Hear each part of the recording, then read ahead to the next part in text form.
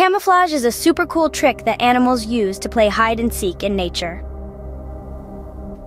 Imagine you had a magic coat that changed colors to match everything around you. Wouldn't that be fun? Well, that's what animals do with camouflage. In the big leafy jungles, we have the leaf-tailed gecko.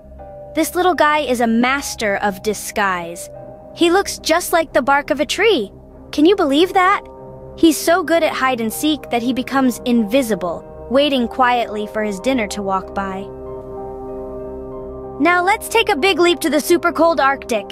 Here lives our big and cuddly friend, the polar bear.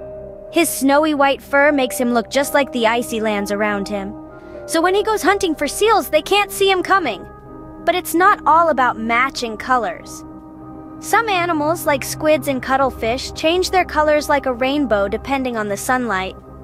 This cool trick helps them blend into the ocean and hide from the fish they want to catch for lunch. And lastly, let's shrink down to the size of insects.